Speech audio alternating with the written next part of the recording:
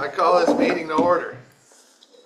Um, Notice is given of a workshop meeting at the board, at the district's board of directors to be held at 105 Port Road, Port Isabel, Texas, on April 24th, 2024, at the hour of 4 o'clock PM for consideration of the business of the agenda below. Notice is posted at the office of the district on April 19th at 9:15 a.m. in accordance with the Texas Open Meetings Act. Uh, I call this meeting to order. Uh, We have Warren, Mr. Downey, Mr. Starkey, Mr. Bowder, and myself. And uh, we're going to assume maybe Mr. Friedman is able to get here in a little bit. And with that, we'll stand for the Pledge of Allegiance. Allegiance to the flag of the United States of America and to the republic for which it stands, one nation, under God, indivisible, with liberty and justice for all. Heavenly Father, we thank you again for all your blessings, Lord. Just ask you to continue to uh, give us knowledge, wisdom, and and everything that we do here at the Mountain Water District, Lord. That, uh, that we will have a, a good workshop today. And we just also ask for rain in our watershed, that you give us more rain that we need. And, uh, we just thank you again that you will lead us into this workshop. In Jesus' name we pray, and thank you for all. Amen. Brings us to item three, the project overview. Okay, I'd like to present uh, Morris Valley. Uh, Bill Morris is here, and have David Pitry, and then uh, Kyle Fraser in the back with uh, Texas uh, Desalination Association. And I have two guests here that I want to introduce. Rudy Garcia, uh, previous uh, chairman of the board. And, Howdy, sir. uh, Yes, and then uh, Mr. McLaughlin, Ray McLaughlin from uh, Texas Tech. He just uh, invited, so he's here.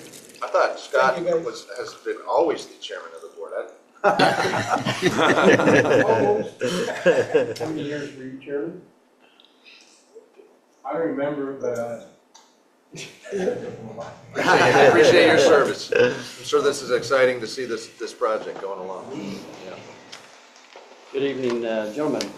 Uh, Been a pretty busy last two, three, two, three months putting the project together. Uh, We have, uh, we've come a long way, and this workshop is really interactive. It's not us necessarily making a presentation, it is to give you the information, but I, I think it, it behooves us to talk as, as we go along, interrupt us, and whatever, got a question, let's, let's discuss it. Um, So this is the, you've got the, kind of the agenda before you, we can vary from that as, as need be, but I think it covers pretty much everything, uh, and probably then some.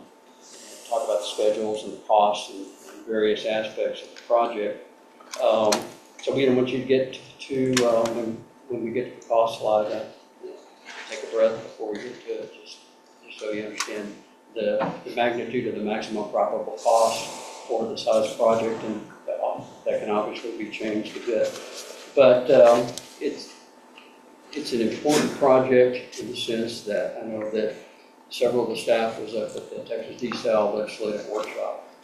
And it- it's sobering how much water demand is coming forth without new water sources for the state. We're in the same uh, vicinity of where we were back in the fifties, during the drought of the fifties, with the amount of water per capita. And there's no new water sources. It's gotta come from the sea, uh, brackish water. Uh, Those are about the only two, because you're not gonna get any reservoirs built for uh, anytime soon, or, you know, it's thirty to forty years if you can get it done. So this is an important project. Um, We learned a lot also from Corpus Christi and their venture into developing their project. Um, I won't say, I'll, I'll get to that in a little bit when we get to the project, but uh, it's, it's really being open and honest to your constituents and the, uh, the stakeholders of the group as to what you're doing, and being open, uh, an open book. So with that, I'm going to turn this over to David to talk about some of the details of the, uh, the project and and the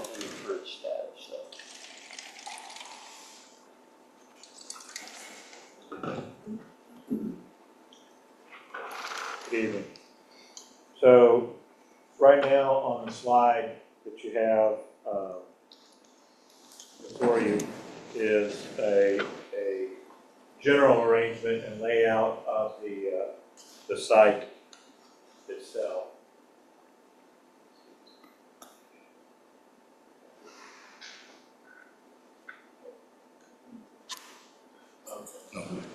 All right, so what you're looking at, so this is a lot of stuff in a small space, so the, resolution is, is is a little tough. So the, the area right here is existing, um, water plant number one.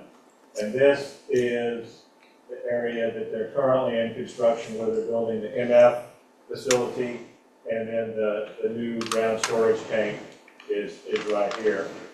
So the salt, the proposed site right now for the saltwater RO is, uh, just above that. There would, you know, a road would go in here and then you have this area here extending down into this area here for the, uh, the saltwater RO treatment plant. The building itself is, is located here, and, and inside that building, of course, you have your electrical, you have the uh, RO membranes, you have the MF membranes, and the, the gray area that you have right now is, would either be, uh, uh, enclosed in the building and to be utilized for future, or just left where it is and the building built, that it could be extended into the future. And those are, those are variables that as we continue through the process, we'll be able to define, um, and refine. Then, um,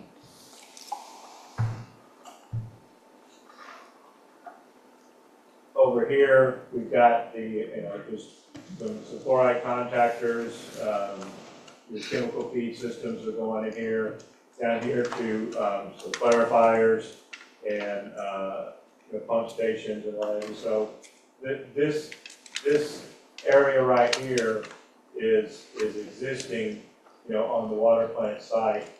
This portion right here would be, you know, is not existing, would be an acquisition that we can, we can touch on as we get a little bit, uh, further along. Down here is the intake location. Intake would be a structure built um, along the the coastline, along the coastline, um, and extend out into the turning basin right here. The, the structure itself would extend out minimally, but then, you know, we would need to dredge out um, and there's some slides coming up that'll show you the, the extent of what, to what that would entail. After, uh, the intake is there, then this line right here, I have a magenta color, that's the proposed routing for the intake line to connect back up to the plant. And then there's another, uh, line to concentrate discharge that would go down and then parallel the wastewater treatment plant discharge and there's another shot that, that kind of goes into that a little bit better. So this gives you, you know, the, the intake itself has moved around slightly in this area, um, you know, from, from down here to, to back up here. And this is by, by discussions with the, the navigation district and looking at interferences with the existing port facilities located down here. But what you see in the orange area is um, the area that would need to be dredged. It's currently, you know, anywhere from, you know, a foot going down. As you, as you, as you go this way, it's tapering off, and then the Corps of Engineers dredges it out down here to thirty-five feet. So we would be going, uh, this area here, to the channel from, just call it um, shoreline to, to thirty feet, right you know, here. So there wouldn't be a gradient in that, that orange area. And, uh, that would be dredged out, the material would be taken off, um, out of the area. Approximately how big is, is- is the length I'm looking at there? Like fifty feet, two hundred feet? Out, out here, Yeah, I mean, how long is that line you just drew? um, I don't remember off the top of my head, the length, we've been, we've been looking at it in, in terms of, of, uh, About like two hundred. yeah, so- something along those lines. Okay. Yeah, it's Ju- Just as, as a, as an approximate amount. Like, that's not a football field worth of, is it? When I'm looking, it looks like half a football field? Something like that. Yeah, A hundred yards. so it is about a That's football. two hundred fifty, Okay. three hundred feet. Okay, good, thanks. So, so, you know, it's, it's a, it's a, an undertaking, and, and, and in the construction, there would be, uh, you know, a coffer dam, you know, we have to block it off, build this, dig this out, and then, and then, uh, pour the concrete and, and let it, let it back in. There, there's a line right here that you see, which would be an aquatic barrier. Um, it would have a, you know, anchors on the bottom, a float at the top, and it would be to prevent, um, uh, fish and everything from swimming into the area to be taken in to the intake. Uh, then we're gonna have screens on the intake, and I'm gonna show you some pictures of that, and then the intake area itself going in, the pumps, an electrical building, uh, just a maintenance area around there, and then it would connect into the pipeline and go off.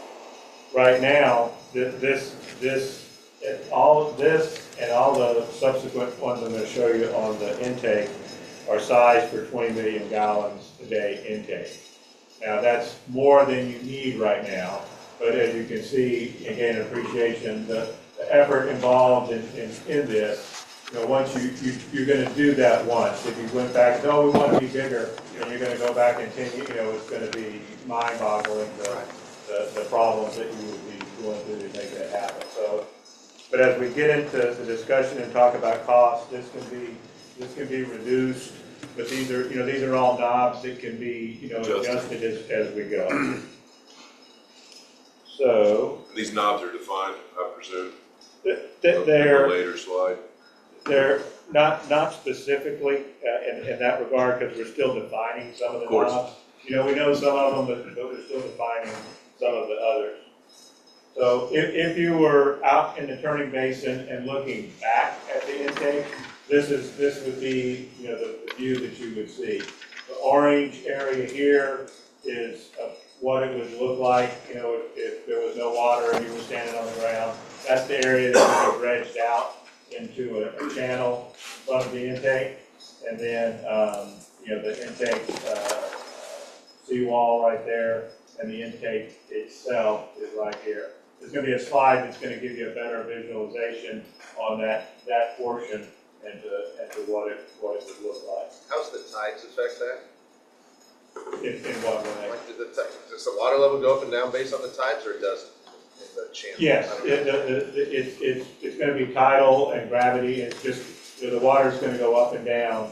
Um, at, at the water line here, um, actually here, it's gonna go, you know, up, down, for hurricane, it's gonna go over, you know, could, could perhaps, you know, be, be right. We, we set the height of it, um, ultimately about eleven feet, which is where the nineteen sixty-six storm high water mark was. So, so it's got some, some cushion, but, you know, with, uh, you know, the currents, global climate change and issues, our storm's gonna get worse, you know, I, I don't know.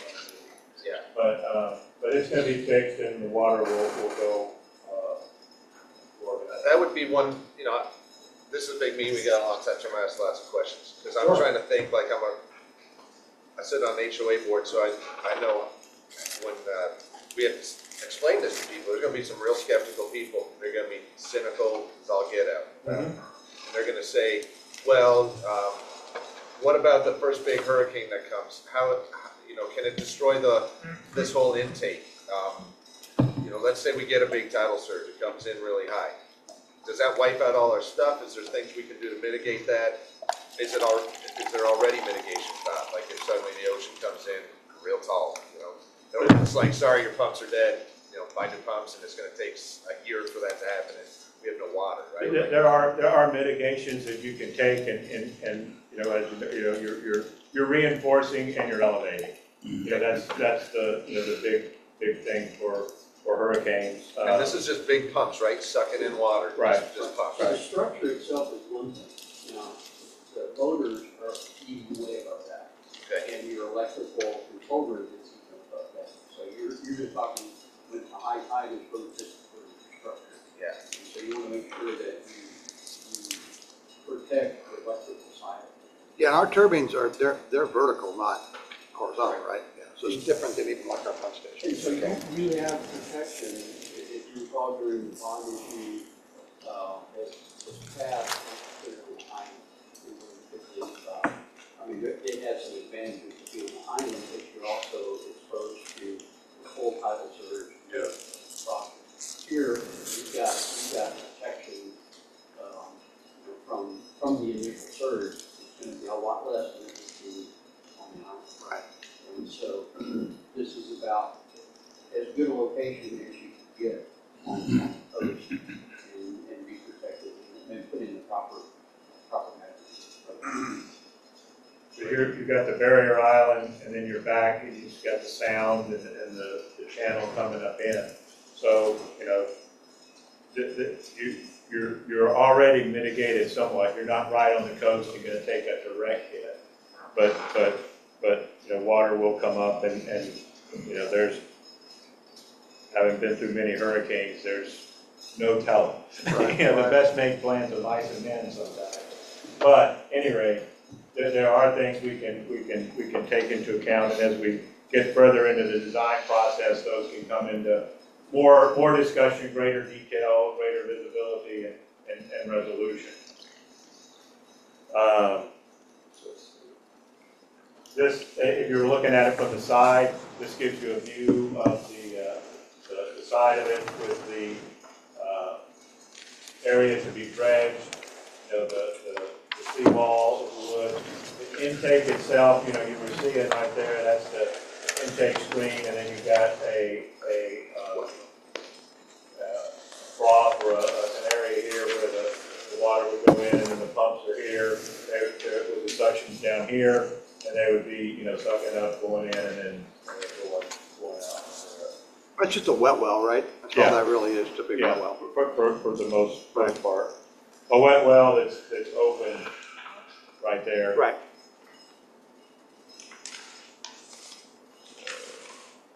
And the, um, overhead view looking down. Again, you- the pumps, you know, back here going out, the suction's going down, this area is open. And, um, your intakes right here form a barrier and your, your intakes, uh, themselves out here, an electrical room. Uh, this is just showing a truck, you know, to give you a sense of scale at, at the the facility place. I feel like a pickup truck or a, a state truck maintenance there to, to come in. Um, So. Then the intakes themselves are, uh, a little different than what you, you, you may, may or may not be familiar with. This is a, a picture of one that's not, it's, it's installed in a lake or a river. Um, and these, this would be similar to yours, it's not hundred percent exact, but it's similar. So just, just real quickly, these are the intakes themselves. Um, you about forty-two inches wide, two millimeter, and, and, and the screens, um, in service for 20 million gallons a day. Uh, it would be four of the, this is showing six, it would be four, so from here down, um, would be the size that we're talking about. So the, the, the screens themselves are designed so that they're minimizing, you know, the entrapment of, of, uh, fish life, sea life, uh, and, and catching it and trapping it, you know, pulling it on the screen, not letting it get off. And so, um, that's, that's the design of these things. Subsequently, they're also built, meant to be self-cleaning because, as you know, sea life likes to grow everywhere, all over, all the time. And it's a perpetual, never-ending battle. And so these screens themselves rotate all the time, and there are fixed brushes on the inside and outside. So as they're slowly rotating, you know, they're perpetually cleaning themselves, and that's how they're doing it. They're motor-driven, and then the screens themselves go up and down in these tracks. These are all out of service right now, above the water line. And then when you go back in service, they go, they go back down, and then, uh, there's a trap door down there. I've got some, some pictures to kind of give you. So impingement and entrapment is two main things that environmentally that you've got to take care of in this, and that's one thing, is you have to have, uh, small enough openings and slow enough velocity that you don't get the marine, uh, min- minor particles that outgrow, they want to protect all the larvae. And so that's, that's why these things are so expensive, because you, you have to make them large enough, the opening small and the velocity slow, so a fish swinging by doesn't even notice the velocity going through. One of the more expensive things in the process. Probably some stuff down there. Mm-hmm. So this is showing the, the kind of a cutaway of the screens themselves, an illustration. Down here would be a, a, a door that when the screens are up, it's shut, so that you, you can't get anything swimming back and forth and get in there and get in your pumps and, and, them up. Um, and so, uh, that's just a, a, view of that. Any, any questions on, on that, how it works? I- It might be stupid, but I, how often are those down and how often are they up? I mean, if we're not, if, if, ours basically always going to be down? They're, they're gonna be, they're gonna be down except for, you know, maintenance. Maintenance? Um, you know, you, it, it's, ma- it's machinery, it can fail and probably would fail at some point. So there's, you, you need, for the twenty MGD intake, you need three in operation. So there's four, because you gotta have one as a standby, and that's, that's also pretty much a, a requirement on the regulatory side. So you, you've got, what you've got in operation, and then you've got a standby, so that, you know, if one does go and you've got a pull it, you can put that one down, you know, and maintain your, your, your capacity. Yeah, I mean, imagine Amistad and Falcon get all the way filled up hundred percent. Would we ever, would there be a reason we'd ever take this out of operation for a, a period of time, for six months, for, or would that, would that just not, is that Well, just if not You're talking about realistic? the entire process, this, this plant's made to run, Right, it's not made to sit up. kind of like a boat.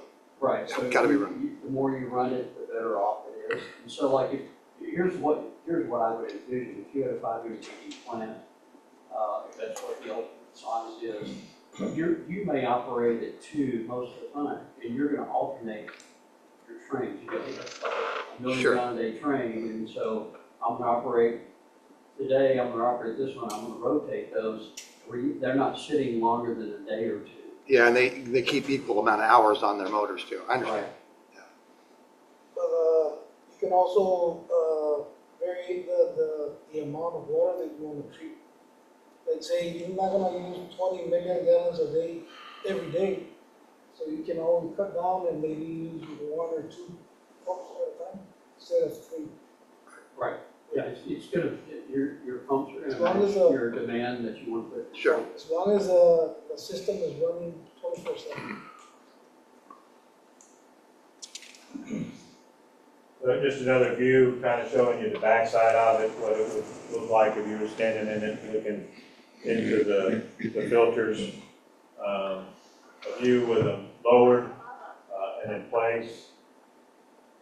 And then uh, this, this one is to get into the um, intake and discharge locations with, with the the plant all in one shot.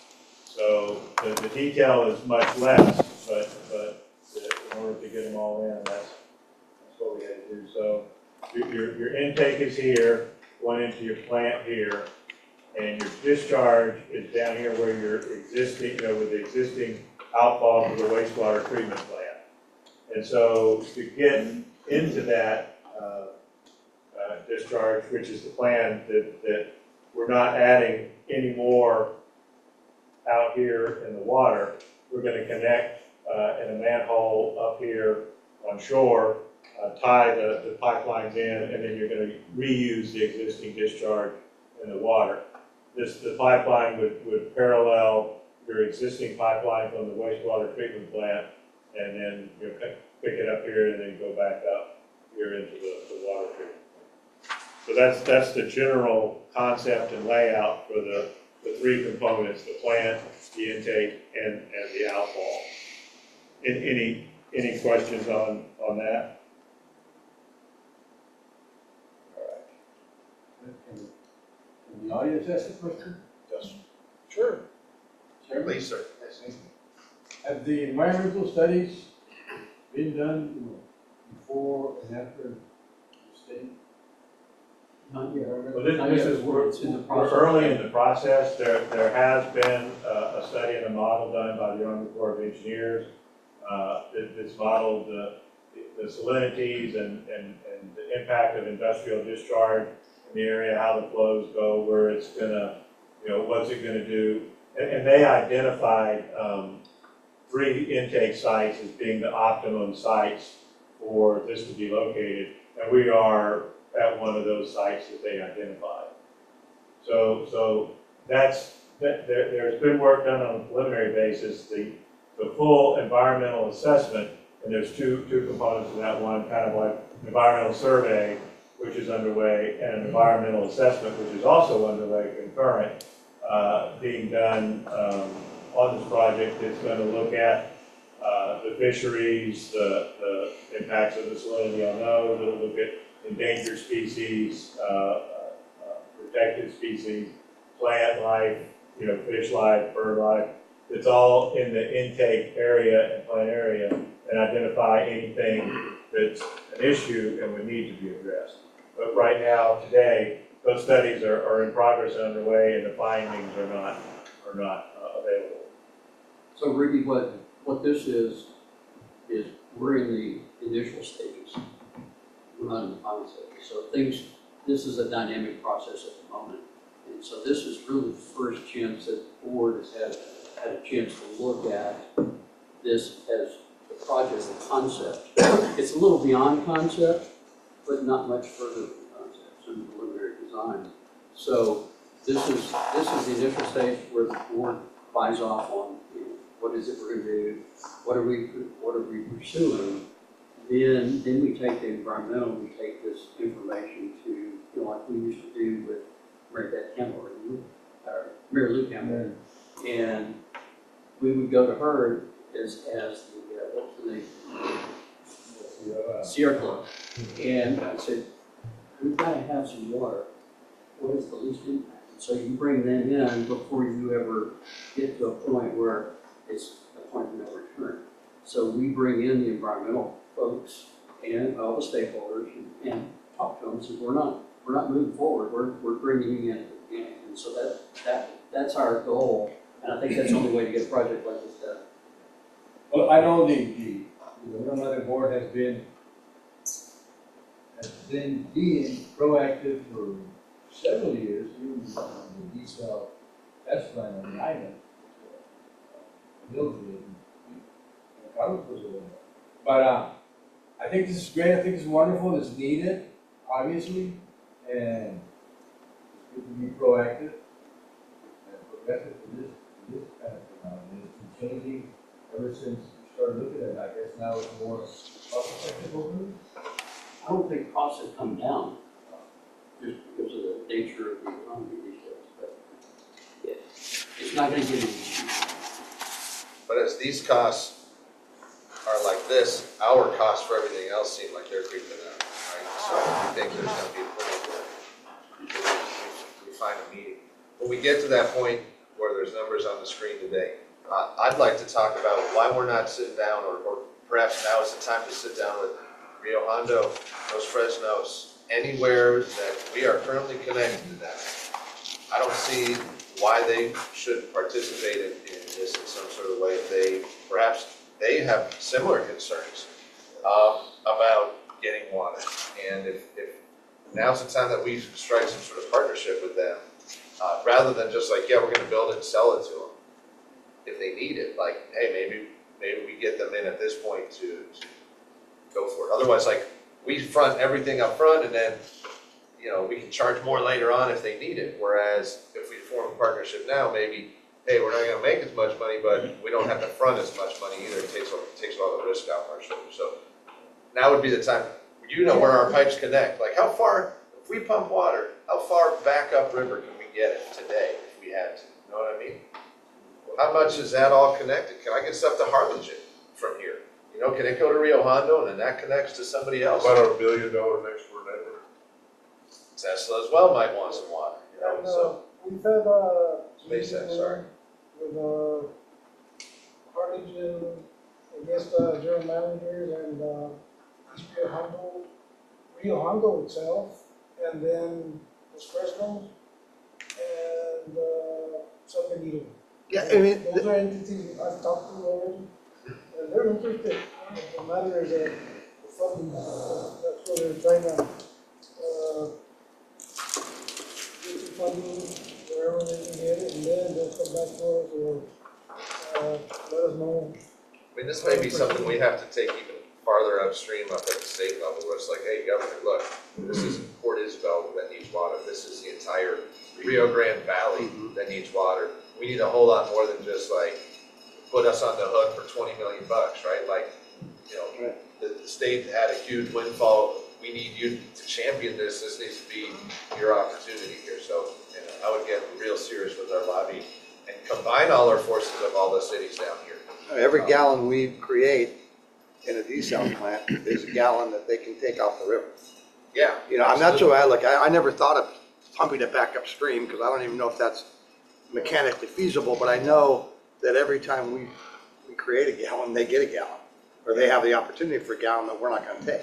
Across that channel, tells you there's a city, Heck, yeah. a guy, we should be lobbying to, like, soon.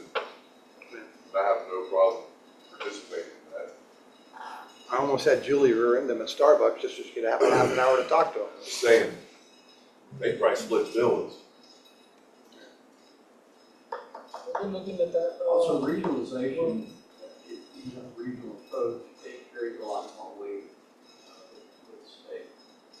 You know, Al's here, we, we talk a lot about how can we make this project even, better, as more attractive, I should say, to people that aren't benefiting from it, like our, and stuff. So that's, that's, that's a good point. You, and you're in fact, as we get on water, you are regional, you serve three cities Okay. uh, three pounds. And, uh, So that's, we use that before, but if you could go beyond the boundaries.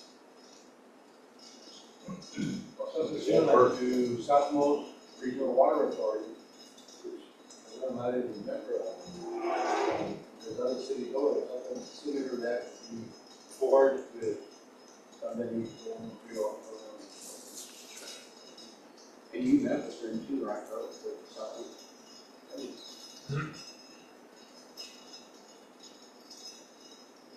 Okay, proceed, sorry guys. No problem, that's, That's, that's that's what it's here. that's what we're for, we're for. So this, this is just to give you uh, familiarity and understanding with uh, why some of those pipelines, you know, we, we we modified from where some of them were gonna run.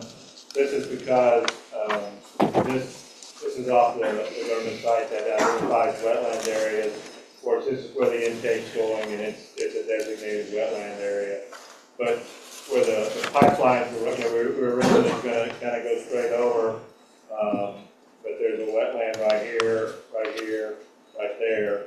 And so we, we, we, we had to go up, over, kind of splitting the difference between them to get the, the pipeline in there, just to avoid any more wetland issues that, that, that we could. We, we can't avoid this one, because that's where the intake's gotta go, so there, there will be, you know, some wetland mitigation or, or conversations with the Corps of Engineers on what that would be and what that would take.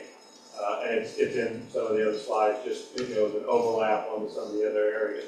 Again, this is just to give you a, you know, an overview of, of why, why something is where it is and, and what are some of the issues that are out there being, being, um, looked through. So going into the current project status, um, right now, there, there's several, several things going on. The feasibility study, which you authorized, is underway. Um, These, these points are just really, you know, covering the, the, the scope and inclination of the study. But, but primarily, the feasibility study is there to, you know, can, can, can it be done? Will it work? Does it serve the community properly? Is it, um, uh, environment, you know, what's the impact on the environment? How's that gonna be? What are the, and it- and it's, and it's to uncover these issues, not necessarily to all in one spot, wrap them up, put a bow on it, but it's to uncover them, identify them so that then you know what you've gotta do, you've got your, your marching orders, so to speak, and you're gonna go down these swim lanes and address those issues as the project goes forward. So that, that's underway, and, and it, it will go into the Bureau of Reclamation um, at the end of July. And so in that, uh, the feasibility study for the Bureau of Reclamation is they have to have, they look at and review before they look at getting into their grants and their grant funding and their, as they evaluate the projects that they're looking at, they're looking at the feasibility studies that all these projects are turning in relative to, you know, when are they gonna be ready, what are they doing, what's the impact? Where, where are we gonna, you know, help the most people that are in the best situation right now to, you know, accept these dollars? So, so that's, that's what the feasibility study is there for and, um, is, is rolling right now. Any, any questions on that one? Is that all pretty clear? I might ask, the timeline is, I think they, when you get these feasibility studies, you get a couple of years to doing the work, or not years, to do a couple of years. There's a deadline of September, around September twenty-eighth or thirtieth, something like that, mhm. to be able to get on the next, that next round of big dollars construction projects. And so, one of the reasons we're, we're looking at July twenty-fourth is to give, one, give us a little slack between then, then and there, in case there's some, some time frame, but we, the, the really, the drop dead thing is, is to get into queue in September. And so that gives us time to review too, and so we don't have any, any, to take us in the report back, hey, you need to add this or that. But when we do this report, um, we did meet with reclamation last, they were, in- they made a presentation at our legislative session that we had with Texas East South. And they talked about financing and, and such, so, uh, they locally, let's say locally, your recommendation in Austin office, they wanted to then go over the report because they wanted the one hundred percent correct way it would be, uh, evaluated and sent to Washington DC. And they'll, they help you, they, they're here to help you do that. I know they can send Virgo, they're here to help you, so I, I take that as part of it. No, it's good, it's a good organization to work with, uh, and they, they want to work with you to make sure there's no, no issues. And if, you know, if for whatever reason, you know, you miss those deadlines, then, then you're a year, a year, you're, you're into the next year's cycle. So in, the- in, in expediting and pushing, that's why we're trying to get it in there so that we stay in this year's cycle and we don't get gapped, um, as we go through the process. So permits and approvals, um, we've got federal permits and approvals to, to deal with and state, federal, uh, state uh, permits and approvals. Again, the Bureau of Reclamation, uh, they'll have to, you know, need to do a, a finding of no significant impact. Um, we met with the Army Corps of Engineers and identified that we would be looking at a standard individual permit for, for this project. Um, there, we might also need to do with them a section four oh eight permit, which would, if, depending on how far we go into their maintenance area, um, and, and the impact of that, you know, so we're, we're still trying to determine if, if in fact that, that's gonna be required.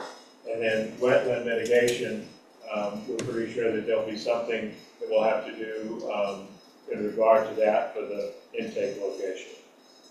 Uh, there's also a potential for, um, uh, real estate, uh, permit or, or issuance, you know, with, with the different, you know, the, the core is, you know, the core, but they've got their different divisions, and so this division also may have that requirement that we're, we're looking into to see what, what that would, uh, entail.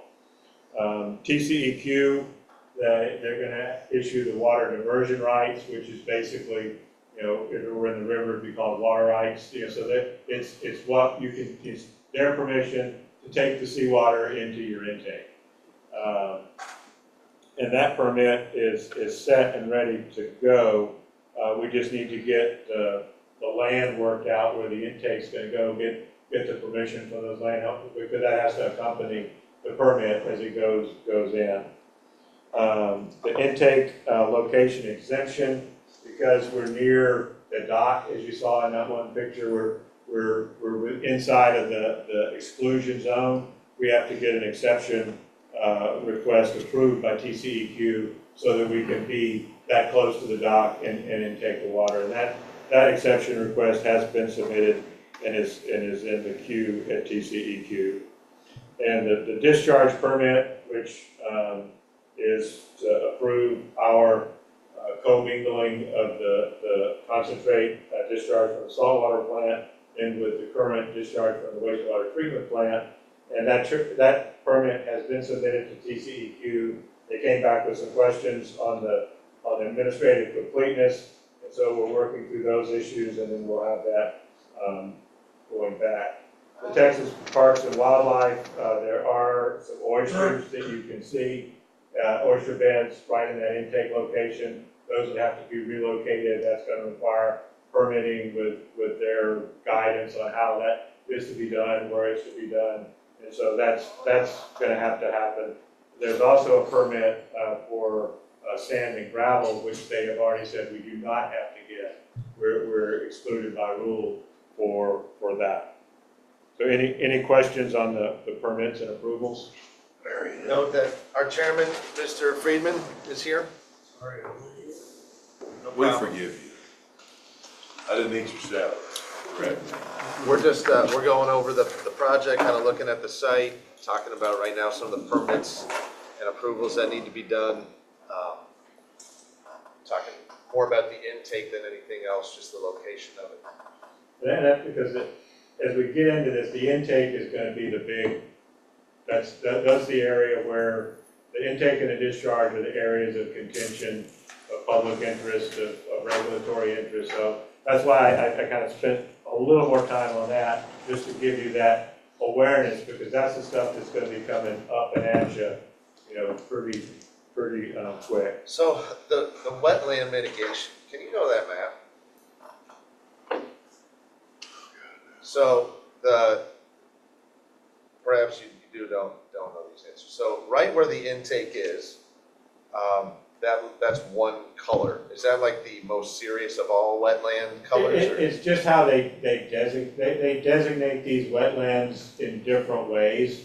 And, and it, and it either how they determined it or, or is it intermediate, but, but that, that's, that's the color that they use for the coastline For that, for for that, coastline. See like the light green that basically we're moving up and around? right?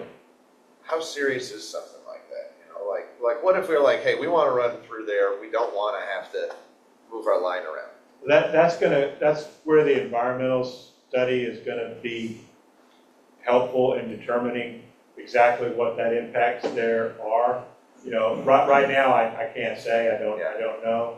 And that's, and, and, and based on those findings and based on those discoveries would be whatever mitigations that the Corps would say, you know, would need to take place. And so at this, at this preliminary point where we are, it's, it's, it's, it's, it's more an awareness than, than the specifics relative to those spots. It's just like, you know, I'm looking at the map and that looks like a little tiny place and it's crazy, we gotta. I, I wonder how they determine this is a wetland, is it just satellite imagery, if I had to guess? It's, doing it's, that, they do a lot of satellite imagery, sometimes they'll, they'll go, they'll add satellite imagery with, with, you know, flyovers with, and then sometimes with boots on the ground. But, but looking at that spot, because once, once they designate it, you've gotta, you've got to address it. Yeah. And so in the environmental, and in fact, the, the environmental team is coming in this afternoon, there'll be boots on the ground tomorrow, looking at those sites, determining initially, initial determination of, you know, what, you know, it may be, why, why are you calling this no? What, what, what? So, so there, there, there may even be discussion to say, no, this isn't, but, but that's, that's all pending that ground level, um, uh, and evaluations. Can you get, can it be changed? Like, let's say they come in, they look at it, can it be determined, oh, you know, it's, now that we're looking at it, Sunny Closer's not even a wetland yet, pass your stuff right through it, or? If, if, if, if it's We're not worried determined about as- it, throw your dirt If it's there. not, a- if it's determined it's not a wetland, we can, we can go, but that would, that would require, you know, hey, we don't think it's a wetland because A, B, C, D, E, F, G, and then the government looks at it and go, okay, we agree, that's, that was, you know, who knows, and all right, it's not a wet, you know, so that, that, that would have to take place, and the timelines for that and the, you know, whatever that they would, would require for that, um, and, and- and right now, that we don't, we don't know what that would be. Sure. And it's not uncommon, for- w- w- before you got there, but it's- we had to do it at the club. We had a mangrove mitigation site that is the right-hand side of number four now, when we built the harbor. And Army Corps had to come in, and it's not unusual for them to go through this process, exact same thing happened to us. Located. Yep, they They tell locate us it, to- they tell us how to do it, and then we go and do it. You locate what? They- So they located the area that we were gonna put the harbors in. Yeah. And then they said, you gotta build, you gotta be able to produce these mangroves somewhere else. And so we had to build the mangrove mitigation site on the right of four, all that stuff. And, but they, they walked us through the process and then, then we hired contractors to do it. Same as the wetland, Yep, you know, they might, if, if I recall, and, uh, that if you had like, like five thousand square feet, you may have to find fifteen thousand square feet to build a wetland. It's exactly what we did. It's Ours was- usually not- It's like a two to not- one. ours was almost three to one at the club. Yeah. Yeah. And then we had to maintain that with fresh water for like three and a half years. We had to build irrigation for it. And then eventually it turned back over into, But I don't know about the wetland on the coastal. Yeah.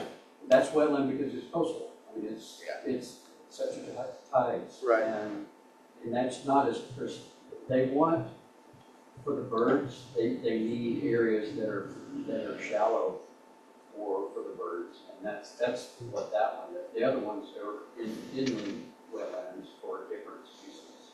mosquitoes. Does that, does that Yeah, answer? that's good, thank you.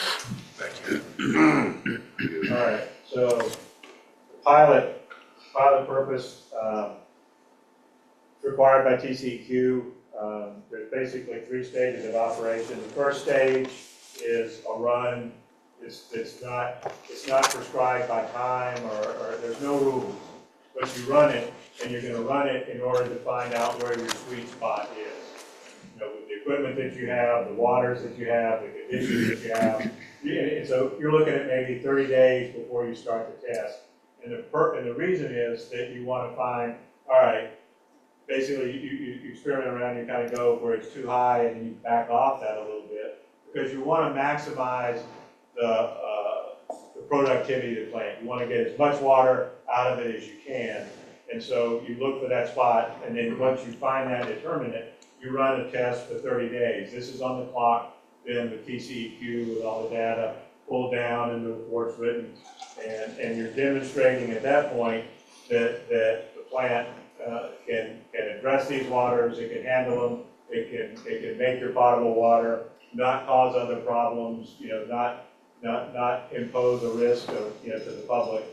And then, um, after that one is complete, and it, and you, and when I'm saying thirty days, the plant has to run for thirty days, but, you know, say, you know, pilot equipment gets more, a lot of wear and tear on it, as it works at different sizes, so a motor goes out, you have to wait two days for the motor.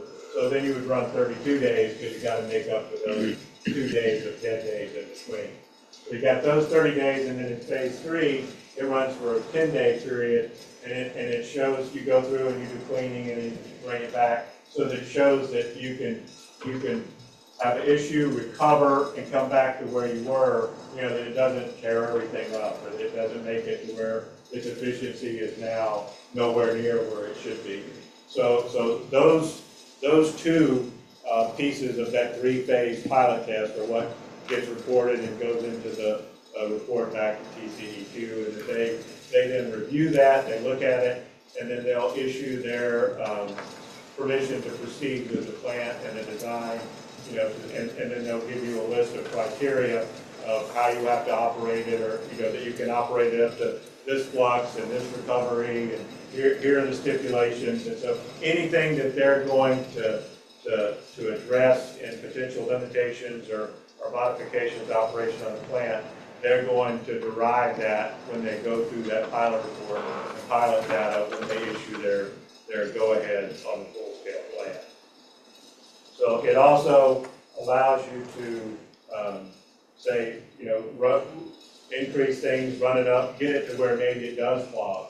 And then why did it clog? How do you, what do you have to clean it? So that when you're running the full-scale plant, you know, you know what to expect. And you know how you're gonna be able to take care of it because it's a lot easier when it's small than when it's big.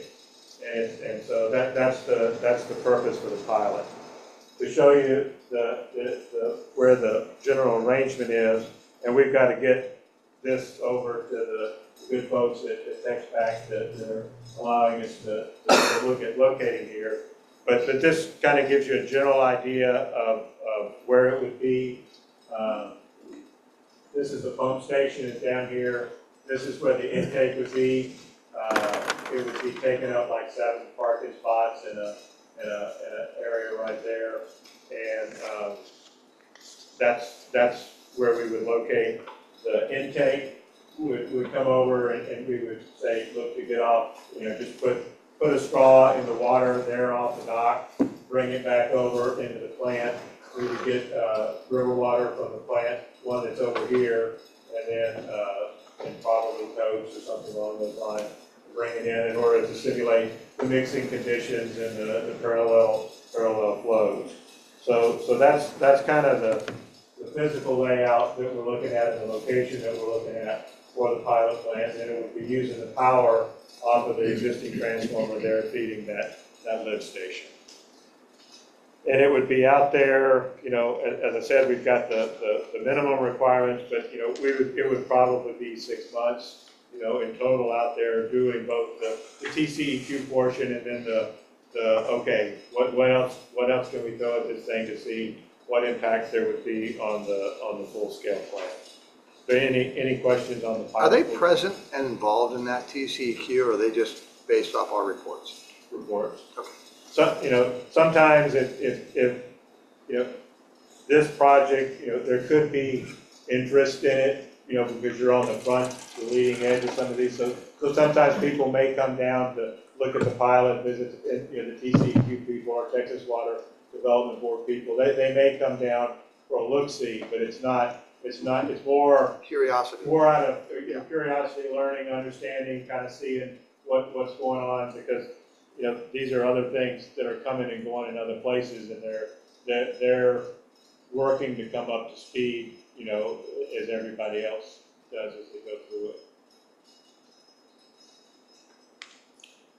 So, in the environmental, um, in the environmental survey, survey, you know, they look at historical sites, you know, was, you know, did the colonists come up and set a, you know, encampment right there at that intake location? No. But, but those, that's the type of stuff that they'll be looking at to make sure that there's no significant, uh, historical site and artifacts and things that could be, um, destroyed or, or, or, uh, not, not properly addressed in a construction cycle. Social impacts, you know, in the community, is it, is it disaffecting any particular group of people more than another? Um, Endangered species, uh, that's always a big, big one. Um, Fish habitat, uh, salinity variations in the, in the waters around it, because all of, all of those three items really kind of tie in together, you know, um, and so that, that, that's a big, a big check mark on the environmental, um, uh, survey that, that, that they go and look and do. And so, and then you're, you're gonna interface with the Army Corps of Engineers, National Marine uh, Fisheries, Texas Parks and Wildlife, US Fish and Wildlife, and, and, and in total, between the, the assessments, the reports, the write-ups, the reviews, the questions, the answers, this whole, this whole thing is gonna be about up to a twenty-four month cycle, and it's, and it's underway. And, you know, think the last, last meeting, y'all approved that, and that's, that's what we approved, so that's, that's rolling. And then with that's, and these are all the activities that'll go in, and then, you know, then each one of those breaks down into, you know, specific on-the-ground look-through for, for that. Uh, any questions on, on environmental?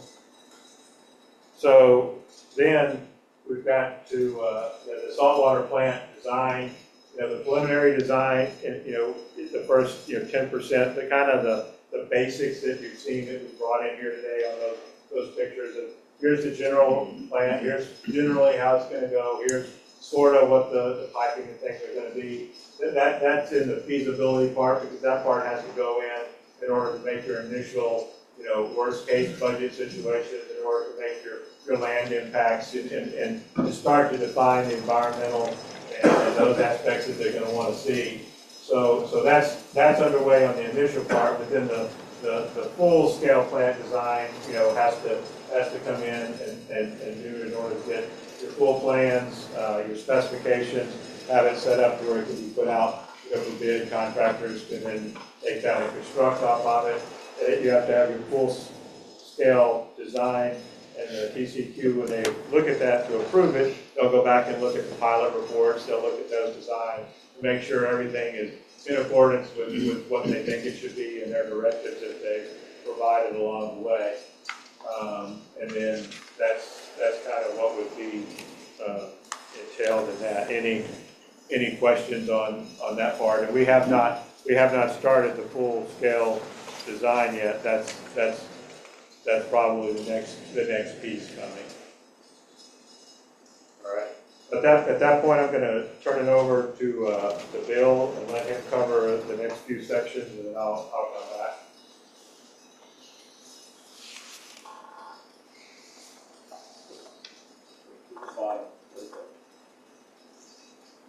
So, the money. Um, So we've got Kyle Frazier, he, he brought, he brought a satchel, and I think that he brought money, you know, from Austin. Right? Right, right, yeah. As you know, as you know, Kyle's been working, um, pretty hard on your behalf to, to, to make sure that if there's any money coming down, down the pike, that, uh, they're gonna know about Laguna Madre Water District. And as we look at some of these sources of funds, obviously you had, you know, approximately fifteen million in, uh, general obligation bonds that you approved 12 12 years ago, somewhere thereabouts. And so that's still in the, in the, in the works. However, it's not gonna pay a lot for a project twelve years later, um, and totally different, a lot larger than we're talking about. So, um, what we've done thus far is we made a pre-application to SWIFT funds, which is the, gosh, what does it stand for? Um, State Water Implementation Fund for Texas. There we go. We call it SWIFT because I can't remember what it stands for. And so there was a ten million dollar loan application for the, uh, all the work that you have already authorized to do. That you have two possibilities to fund that. One is part of the, the fifteen million dollar, uh, general obligation bonds, or the ten million from the SWIFT funding. The, the advantage of the SWIFT funding is it postpones your payback until you start the construction. Um, and I think it gives you an. grant, this way. No, it's a loan. Yeah, well, it would be a tax commitment, so we're, Yeah, we're using it's our a- authorization. It's a commitment.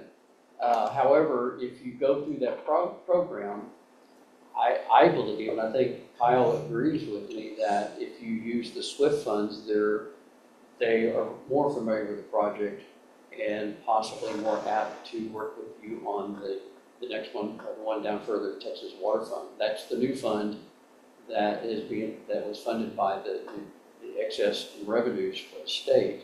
We expect that there's another round of revenues coming into that fund.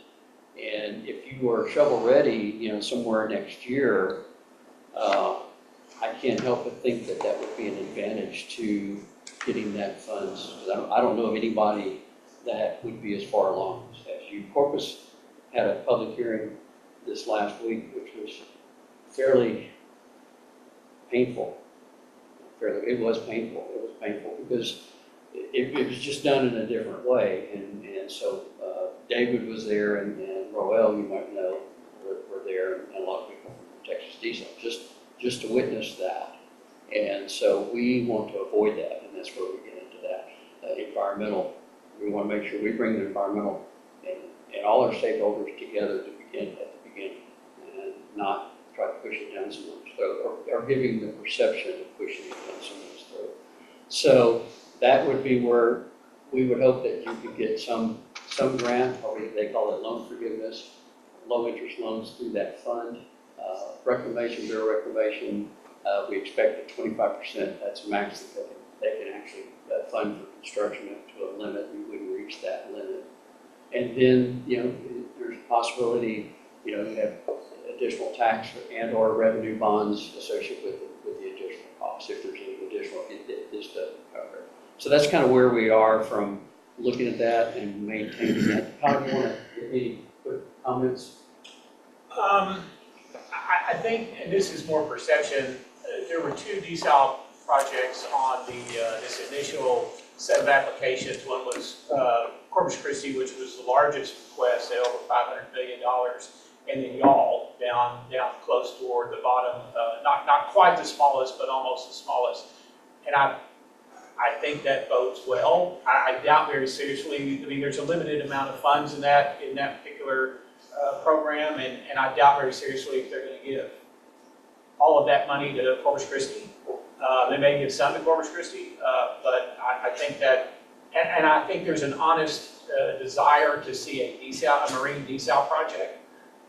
No one has said that specifically, but that's the impression I get. Uh, and along, that kind of goes along with the, the, the new water fund as well. Uh, Senator Perry specifically put in that legislation a marine desal project uh, outlined. And so they want to see a marine desal project. And so I think that bodes well for a project that is as far along as y'all's is and is as, not as, as expensive as some of these other uh, concepts. So Corpus is brackish, right? That's what No, they're, it's seawater. No, it's seawater oh, there in the bay. okay. Yeah, there was, um, I guess, Well, for one of them, they're- they've got three options. It- it- It's a mess. Okay. one hundred people, over hundred people testified, I would say that one, one-fourth of those were in favor of it, the other seventy-five percent were adamant. Wow.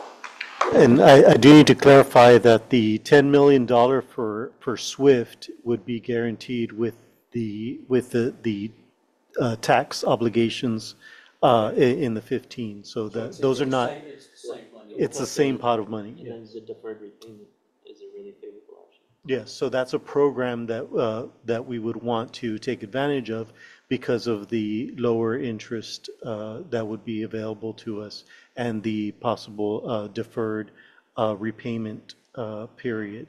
So that's why we would want to use the, the SWIFT program. That's the- the advantage of that program. But the, the pot of the money is still our tax uh, uh, obligations. Is the district set up to have referendums on issues? What if you put it out to a vote to the community, as opposed to us voting?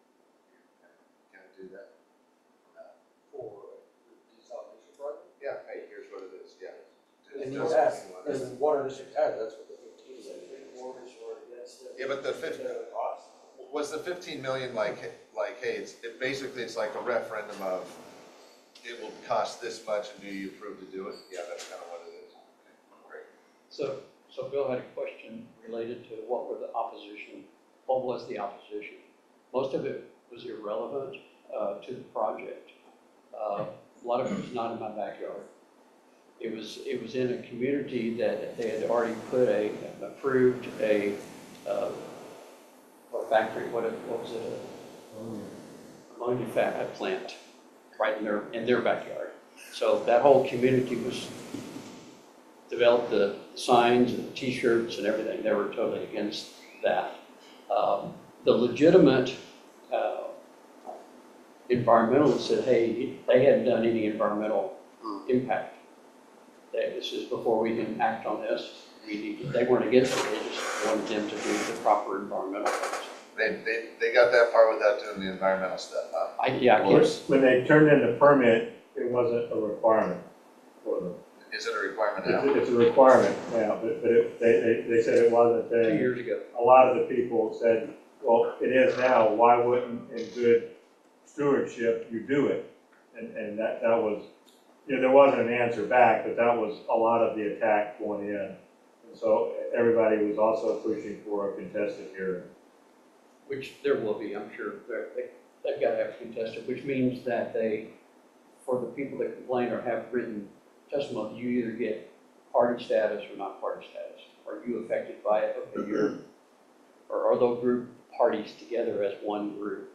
And then they'll go through hearings just like court, just court hearings. In order for us to fund this, it's, it's going to require going to the voters anyways, is it not? Great, so this really is on us to educate people, and then the community will decide, this, this will never be something we force on people. Right? Well, you know, unless you, you've authorized fifteen, they, or the voters authorized fifteen. If, if you do, and, and I'm, I'm not acting as your financial advisor, but my understanding is if you revenue bonds, you don't have to go to voters, but if you do GO bonds, you have to go to voters. If you are able to fund a project that fits within the fifteen million, say you got fifty percent grant, I mean, from, from, from various sources, and then you, you got an additional twenty-five percent where you did revenue bonds, you could do that without going to the voters, but you may choose to go to voters anyway. So, uh, but if you do any additional, re- uh, GO bonds, you have to go to voters. Here will be one of the objections, and so there's some smart people in here, I'd love to hear their, their response. If new people would, would just stop moving here, we wouldn't need this, you know? The builders would just stop, if the builders would just stop building new homes, you know? Why, why, uh, why are we letting the, you know, the development on the island, you know, they're putting in new stuff? I heard there's this guy who built stuff over at Laguna said just no more new homes? That's not a problem, and then I don't have to pay for, you know, this desalinization. How do we That's a good, respond? that's a good point, except the fact that you're building this because you, you may not have water, you may have zero water to your existing customers because look, twenty percent on the uh, reservoir capacities. Uh, Brownsville was almost out of water in twenty eleven, twenty, two thousand three. Yeah. And you're the next draw up. It's a Northern California problem. They, they, you know, Cambria, that area, they give out, uh, water permits, they might only give out two a year. And so, the, if you're, the lower you are in the pecking order, if, you know, your land's not worth anything, if you're number seventy-eight on, on the list. You know, and that, that, that is a potential problem here. If we finally say, we just stop giving out water permits, and, you know, that's, the we can stop building, that's ter- terrifying. Yeah. Yeah, you're Yeah, barely that's right. getting by. It's a good argument. barely getting by with what we got. I, I, I agree, I don't, I mean, that's- this all stuff, I know, but uh, that will be, one of the major arguments against it will be, well, we continue to build, and yet we don't even have enough water, so why, you know, we need to stop people from building. That, that will be Well, one it of the should be things in to the say. builder's plans going forward too, that's what. Right. I mean, there's, I think we have to also cue people into the other side of that argument, which is as you build more homes, as new people come, the tax base expands greatly. You know, if you build fifty million dollars worth of new value, That's right. you're taxing that value. Those are new water paying customers. They're bringing down the cost overall, right? Because there's a certain sweet spot that we find. So money wise, I think that we need to be able to show that, like, look, if the population stays the same, if we cut it right now, there's still the chance we run out of water, so we have to build this. But, and it'll cost all of you X. But if we grow at a responsible rate, we're talking, you know, one to two percent a year over the next fifty years, it's gonna actually keep the cost per person lower than if we didn't. Does that make sense? And so our smart finance guys have to be able to show that growth is actually good, uh, if we do it responsibly. Make sense? Yeah. Public, should start? I, I think we've got to finish the feasibility. Um, and I think you do the environmental. I, I would say within, it, it, and find out exactly how much money we could get from, you don't know what supplemental, uh, money that you are able to get. So if we said, if we said today that we're gonna get fifteen million dollars, and you go out for thirty million dollar bond issue or whatever it is, and you come find out they only get ten, now you're five million short, then you can go back and, Right. you wanna make sure that you've got your plan properly developed, that you don't have to go back to the voters again, because you're going back to the voters again after twelve years, like, well, I thought we already approved that. Yeah, but Well, we're some not, of them aren't gonna all remember. I mean, it's. we're not dreaming though about twenty-four anyway. We're dreaming about twenty-six or, right, as far Yeah, as going. and We're shooting for starting construction, if, if everything falls into place, beginning, beginning of twenty-seven. Right, yeah, so we're And that's a fast track, that's fast track.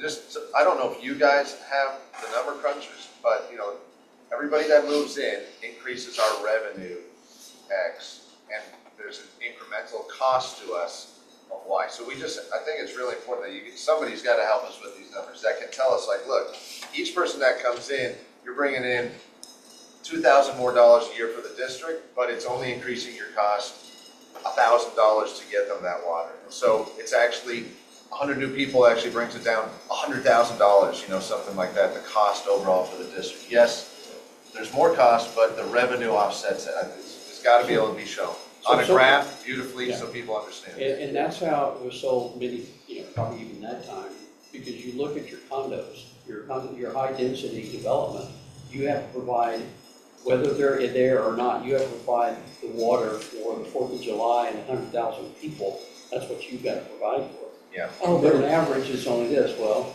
then on average, you know, What are we gonna do, shut down the seventy-five bridge? thousand, seventy-five thousand are out of water. We gotta close the bridge and you gotta pay a ticket, like to get to the island, because we only take the first ten thousand, like. Bring your But water. that's a good point, that, that is a, there's ways to, to show that. Yeah. And so, with the tax rate, tax base financing of the capital, which has been historically what the done, then that, that, you're paying, the empty spots are paying for, yeah, capacity, reserve capacity for them. And so, instead of, instead of taxing a hundred thousand dollar home, it's not gonna be a very big increase taxes on, you know, five hundred million dollar building is, is a lot higher. So that's who's paying, who really paying for it. I mean, they might not like it, but otherwise they're not gonna have water for their home. So, good point. Um, and we got about fifteen minutes. I'm gonna skip property for now, because we already talked about needing, and I, I don't wanna really talk about too much about property, because I think y'all need to talk amongst yourselves related to that, we can cover that later. Um, and I know you can really see this timeline, but, but I just want to highlight a few things. Uh, so we already talked about completing the feasibility study, you know, in, in July of this year. Uh, permitting, we expect if, if it's a non-contested permit, this time next year, we should have that. Because we're gonna be doing all the environmental work associated with that um, both the water rights and the discharge. And David mentioned the environmental assessments, twenty-four months, you know, I think that's a long, twenty-four I hope is a long, but eighteen is probably realistic in getting the, the, all the approvals from all the different agencies. And then piloting uh, a year from now, final design, uh, you know, summer of next year, next year. Um, and the FONSI, which is the finding of no significant impact, the end of next year, end of next year. And then be shovel ready, uh, twenty twenty-five. That, our understanding and, and the push with the board to make sure that this moves forward as quickly as possible, because you're, as thinking that you could be out of water, that it takes time to put these together. And so that if, if you started construction, uh, in twenty-six, you know, you're talking at least two years of construction. So That's, that's kind of where we stand from the time, time standpoint. Any questions related to that? And we appreciate authorizing these things to, to move forward. A lot of, a lot of times, if you did it in a, what I'd say conventional method, you would do, here's preliminary design, pilot, and finish this, and finish this, and you're, you're shaving at least two years off, off the timeframe to get this. Okay, I'm not gonna talk cost, I'm, I'm gonna turn this over to David, so I'm gonna kill. So, th- th- this is a worst-case cost, you know, we're preliminary in the design, as we talk to the, the manufacturer, like the, the guys that make the screens, you know, they, they say, what- you say, what, what's the budget price of it? Well, the range is like, you know, four hundred thousand dollars a screen, you know, so it, it's, it's a big range that they're talking right now. So instead of, you know, if we took the worst case, if there was a big range, we took the high, high number of that. Uh, So, so this is, this is what we would hope to be the absolute max that this thing could possibly cost, barring, you know, COVID two or, or whatever that, that that came along. So this also has the intake at, at twenty MGD. Um, you know, it has the, the pipelines, the discharges, everything is sized for, for a twenty MGD intake, which would be approximately a ten MGD plant. And when I say the size, the, the, the, the, the infrastructure that would go in at the beginning and then would be sized for a max of, of, you know, like a ten MGD plant in, in general terms. So, so it's, it's set up, again, in a worst-case situation based on, um, budgets that we have, and not everything on every, we don't have a budget price from people on everything, because some of the, uh, items aren't designed far enough to even, you know, go get, you know, a budget price on it. So, so we took, you know, rules, you know, rules of, av- rules of thumb, you know, average prices from, from other things that we've seen, and then we added a, a factor on top of that. Also, on, we, I figured it on a cost, you know, what a contractor would pay. And then I marked it up, you know, I did a contractor markup of ten and fifteen, which would be a twenty-six point five percent markup. So it's got like a twelve million dollar markup on the whole project, which is probably maybe more than somebody might mark it up in a competitive environment. But again, don't know where they would be with that, and what we wanted to do was say, what was the high water mark? I didn't, I didn't wanna come in here and say, oh, it's gonna be, you know, twenty-five thousand dollars, and it comes out at sixty. You know, and then you're going, why did you tell, you know, so I'm telling you that it could be as much as this, and then every, every effort's gonna be made between now and as we go through things, you know, to push it, push it down. But some of the discussions that, that would need to go on, um, would be, so on the intake, do we, do we foresee needing to be at that size? Would we, would we go down a size so that we eliminate one of the screens? You know, shrink the footprint a little bit. Um, you know, anytime we, we can reduce, you know, reduce the screen, you reduce a pump, you reduce a pump, you're eliminating the drive. And by the time, you know, you, you, maybe you're, you're saving a couple million dollars, you know, at, at the intake level, maybe, you know, a little more. And I'm just talking in, in general terms, these aren't, you know, aren't exact. But uh, what, what I wanted to be able to do was give you a potential worst case, and then what, what are things that can be done, you know, to, to drive that down. Um, And so that's, those are the, those are the things that as we move forward, you know, we could reduce equipment, reduce uh, footprints, reduce, you know, then that, that reduces cost. Does it, you know, if you cut out, you know, if you reduce the plant by half, does it reduce half this cost? No, not necessarily, because, you know, you still have the excavate, you know, you still, there, there's still a fixed cost that you've gotta overcome, and then, then you get into kind of a variable, um, cost arrangement per, per, uh, skid, per drive, per pump, kind of thing.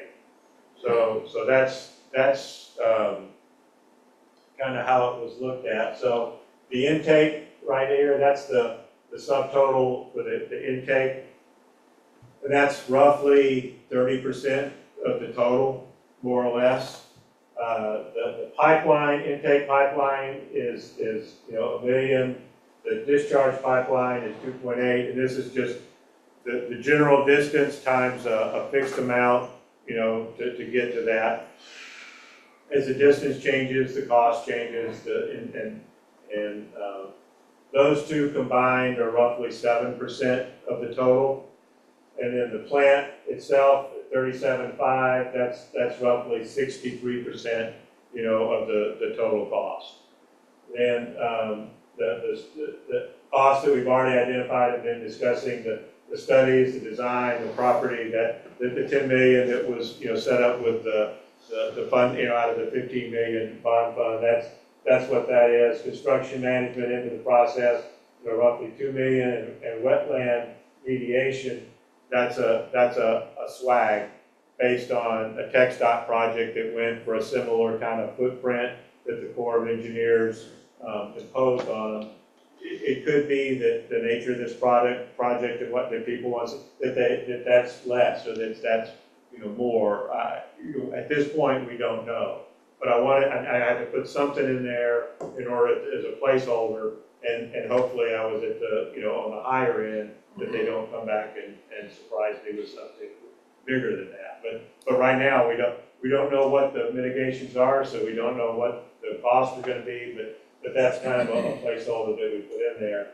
You know, for a total, uh, impact of like seventy-two million, which is the engineering, the construction management, the wetland, all the studies, and then the, the, the four principal components of the, the construction itself. So, questions, you know, questions on that? Hopefully, you know, hopefully this can go down to be, you know, in the neighborhood of, you know, fifty to sixty. Um, But, you know, right now, no, no, and this, this is kind of a, a worst case shot. Guys practically giving it away. Um, yeah, so seventy-two, big number. Uh, one thing is clear to me is, uh, Norris Leal is absolutely the right engineer for the job. You guys have done exceptional work. This has been a very thorough presentation. Everything you've done up to this point has, um, exceeded my expectations. Um, you know, obviously, there's a lot to discuss. You've given us a lot of information, but I, for one, am grateful that we as a board and as a district, you know, that we're looking in this direction, solution-based thinking. Because I think this is a frontier that we have to engage in. Um, And we have to get, you know, creative with how we're going to generate the funds and uh, find the funding. And, and we quickly came up with some great ideas uh, in the region and uh, our proximity of our, our, you know, ambitious Mars, um, you know, multi-planetary inhabitants. Um, I think we get them involved. Uh, And I think this number isn't so appealing or um, obnoxious. Unappealing, yeah. Yeah. Um, but it's not a matter of if, it's a matter of when. And, uh, and I don't, I for one don't want to be a part of a board that just continues to ignore the fact that we're gonna run out of water one day and unless we start doing something about it. And, uh, and I think we have a, I think we have a government that is, uh, friendly to this type of, to this type of thinking. So, um, yeah, big number. Um, Rome wasn't built in a day. I think we got the right people, you know, doing the job, and, um, and I'm confident that God will provide, you know, because, uh, he's bigger than that, and, uh, and there's a need. So I feel like we'll find a, find a way. But on behalf of the board, I'd just like to say thank you for everything you presented and everything you've done up to point. We appreciate you guys. Yeah, I'm appreciative to the former boards, that you guys were, had foresight to look into it and start to discover it and think about it and, and you know, kind of building on your shoulders. Absolutely you. well said, man. Thank you, thank you for the kind words, yeah, and, uh, in general, I think the community overall has been exposed to this kind of technology and this water source is abundant, either it's brackish or seawater, that's not a brackish water also available to us. Um, but this is a, so the community is familiar. Uh, what you said about, you know, the, the dollar amount, you know, it's right now it's big, but it could, it could come down, so when you go before the, before the public, if you're going to ask either for revenue or obligation funds, and I don't need to tell you, but to have a more accurate number, to. Which is it, seventy-two or fifty? or- Right, right. You know, what are we going to, you know, people like those kind of, they've had, kind of, overall kind of tri- uh, tribal, see what the, the northern part of the Laguna Madre area is going to get, and then of course the island, and then the people here in the mainland, we have to sell them as well, tell them, this is what you're getting, you're going to say, well, we're getting twenty million gallons a day, which is going to be used by everyone. And they're gonna say, well, yeah, right, but how much is going that way, and how much is going that way, how much is staying right here, you know, and, and further, you can to approve something. And I think that's why it's important we're building it in Port Isabel. I think that's really a valuable thing that we get to tell people. I think it's why it's also important that we have a committee of people just like Rudy, right? Rudy? I agree. That's correct. Yeah, I, I think, I think your continued support and input along with other constituents like you that represent, you know, members of this community that's grown up here, lived here, served here, could give us that kind of valuable uh, perspective, which would help us get to a place where we can have something of depth and weight that we can, you know, that we can uh, present to the, to the voters. And then ultimately let them make that decision. I think that's where we were correct in, in the last bond, is, is we got people outside of this room to get in a room and help us, um, define, you know, the direction that they wanted to go based on all the information and facts that we presented. So they got support as well. That's bullet point number three. Identify communities here, that's. Invaluable. Bree, Bree's ideal because he's been there. He's seen the ups and downs and, and he comes here to community. Plus he's respected. That's one of the things I really drew from that, from the conference we went to. That was, that was one of the most, you know, the, the group of people that got together talking about the community involvement was really a, a great thing to be a part of. We're all in this That's- together. That's equally important as anything that you're doing here, that, that the community's not behind you. No matter what, how great a project it is.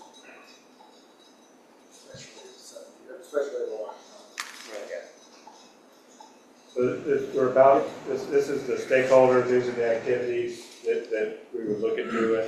And then there's one, one last aspect is electric power. This, this saltwater RO plants use a lot of power, we're looking at probably three megawatts. Um, I think the current contract is December of twenty-five, isn't it, Charles? Oh, yeah. Power? No, uh, April 2027. Twenty twenty, okay. So before, before the, um, the plant goes into operation, the, the current contract that you have on power is gonna expire and have to be replaced with, um, with a new contract that will probably be more. So just as an awareness, as we go, we are gonna be using a lot of power, and, you know, a one cent difference, you know, if, if that size plant can, you know, be three hundred, or two hundred sixty-five thousand dollars, two hundred seventy-five thousand dollars, you know, that, that's, that's the impact, you know, going from five cents to six cents, or four cents to five cents, you could have in, a- in a three megawatt environment, so. So just, again, the, the concept here is to give you situational awareness, so as things go forward and things come up, you can, you can appreciate what, what that is and how it parlays into the, into the plant or the impact block. uh, So that's, that's all we had. Thank you for your, your attention. Any more questions? Oh, is there a plant that we can go look at at some point in the next year that's actually doing, we could go watch how those pumps work and watch how the, I, I would suggest going to, um, Carlsbad, California. That's the newest, and they built a twenty-five UPD plant on seven. wow. It's, it's a, it's a double decker, uh, excellent, excellent location, and permitting for that plant alone was, let's say, between fifteen, fifteen and twenty million dollars just, just to permit, you know, above your well. Well, that's California. Right, yeah. Yeah, no, I just, I, I mean, I think it's something we think about as, a you know, as a water district that sometime in the future, you know, it'd be, or at least have a presentation about it or understand it. We did go look at, back, back when Rudy was chairman, we went to Tampa Bay. to look at the plant Back then, and Tampa Bay unfortunately set sewer desal back about a decade. Because they didn't properly treat the water, and it wasn't as successful, they had to spend more money. Now, now it's great, Right. but it was a public-private partnership, which was okay, but, um, they sold water for cheap and they spring from the retreat. Yeah. I would say of that sixty million or whatever, fif- fifty million for the plant, one-third of that's retreat. So, I just think it'd be something worth us doing sometime in the future. I think you need to understand, I mean, it, it's helpful, because when you're talking to your constituents, you need to understand, I've seen this this and this. Yeah, I agree. Okay, concludes this uh, workshop.